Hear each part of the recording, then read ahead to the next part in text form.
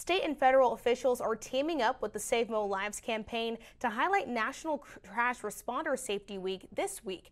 The theme is Slow Down, Move Over, It's the Law. The state has a move over law which requires motorists to switch lanes when approaching MoDOT crews, law enforcement, or other emergency vehicles with flashing lights.